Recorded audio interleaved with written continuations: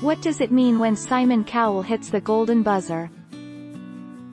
The golden buzzer is a concept that was introduced in Season 9 of America's Got Talent. Each judge may press their golden buzzer only once during the season. In Season 9, the golden buzzer sent the act to the next round regardless of the other judges' votes. Its main purpose was to break ties. Who did Simon give the golden buzzer 2020? Simon Cowell chose his Golden Buzzer act on tonight's Britain's Got Talent after a 12-year-old singer gave an electrifying performance.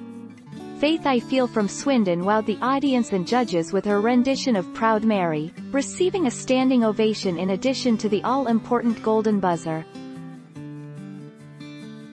What is the benefit of Golden Buzzer?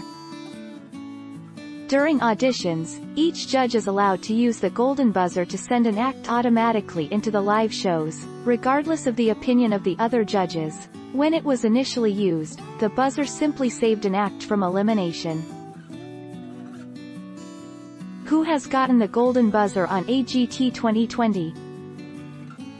Roberta Battaglia Sofia Vergara, this 10-year-old Canadian singer wowed the judges with her cover of Shallow by Lady Gaga and Bradley Cooper. New judge Sofia Vergara was so impressed, she hit the golden buzzer.